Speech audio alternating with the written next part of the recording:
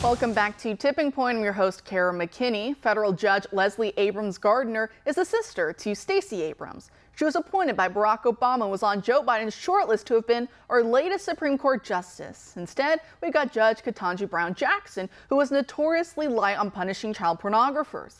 Well, as bad as that is, we now know it could have been a lot worse because Judge Abrams Gardner is not just light on child pornographers, but she literally is married to a man named Jimmy Gardner who just got arrested Friday on human trafficking charges for allegedly trying to have sex, i.e., to statutorily rape a 16 year old girl. Now, this happened in Tampa close to 2 a.m. when Gardner allegedly met the minor and asked her to join him in his hotel room. The girl was at first open to having sex with Gardner for money, likely, if I may add, because she was probably scared out of her mind. But once she gathered enough courage to refuse his demands later, he allegedly got angry at her, choked her, and then left the room, allowing the girl to call 911. Stacey Abrams and her ilk like to tell us that human trafficking and pedophile rings are just Q induced figments of our conspiratorial minds. Maybe because they've got a lot of skeletons in their own closets, and this is Exhibit A of that. Now, last week we talked about the former head of the left wing rag, The Recount, and how he was well known for supposedly debunking the Pizzagate pedophile ring, and yet he just got arrested on his own child porn charges and on allegations he had tried to groom a young male teen online for sex. Are you noticing a pattern here? Because I am. Or what about, to cite our friend Luke Rosiak of the Daily Wire once again, the fact that, quote, a Satan worshiping cult of pedophiles is blackmailing girls into cutting themselves. But the FBI didn't seem interested in that so much as the fact that one of its members once used the N word, a Daily Wire investigation found. For years, the group, known both as 764 and Harm Nation, has tortured what, it is, what is believed to be hundreds or thousands of girls. But the FBI didn't put its cyber crimes or violence against children investigators on it. Instead, its interest appears to have piqued mainly by the fact that the group, most of whose victims are white teens, was once racist to a black girl. The Domestic Terrorism Unit is investigating the Satanist pedophiles for white supremacy RMVE, or racially motivated violent extremism, even though the sole known arrest by the FBI is a Hispanic man who called the judge a cracker in court, according to court records and interviews.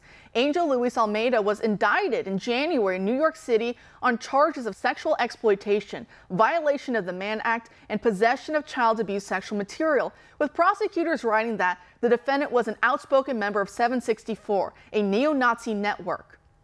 One of the group's leaders is a 19 year old called Yuri who calls himself a femboy, a term associated with left wing queer culture.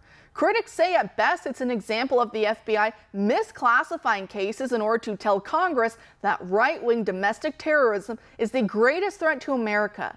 At worst, they say it's an example of the heinous torture of girls by pedophiles not being a priority, unless there was an angle making it politically appealing to Democrats. End quote. This sounds exactly like the Muslim rape gangs of Europe and the free pass they largely get as long as the girls they're kidnapping and abusing are white Christians. That's wokeism for you. Rape and murder are not inherently wrong as long as the right criminals are doing it to the right victims. Whereas for conservative Christians, rape and murder, well, they're always wrong, no matter who is the guilty party or who the victims are. We saw exactly that play out in Los Angeles, California, where a father and homeowner used his concealed carry weapon to chase off several armed thieves who jumped his fence and tried to ambush him as he opened his door, hands full with coffee, after a trip to the gym. Vince Ritchie was able to save his wife, his five month old baby, and his property from harm and without killing anyone, even though he would have been well within his rights to, given that one of the would be robbers pointed a gun at the young father. But instead of being hailed as a hero, the state is retaliating by revoking his concealed carry permit.